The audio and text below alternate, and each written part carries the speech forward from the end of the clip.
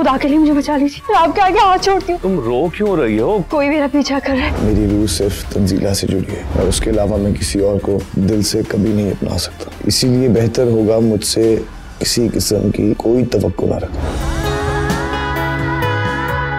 मुझे आदिर की इतनी याद क्यों आ रही है? आज दिल चाह रहा है कि उड़कर उसके पास चली जाऊँ।